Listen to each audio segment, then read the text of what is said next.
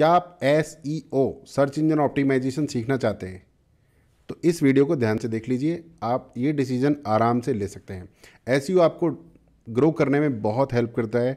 Lead generate करने में बहुत हेल्प करता है। आप एडवोकेट हो सकते हैं डॉक्टर हो सकते हैं professional CA architect showroom owner manufacturer coach what कोई भी बिज़नेस हो, आपको आपको लीड जनरेशन अगर करना है, ज़्यादा कस्टमर्स चाहिए, ज़्यादा क्लाइंट्स चाहिए तो आपको गूगल में सिर्फ़ इतना पता करना है कि best S coach in India right और इस कीवर्ड को सर्च करते ही आप एकदम कॉन्फिडेंट हो जाएँगे कि आपको किस बंदे से एस e सीखना चाहिए।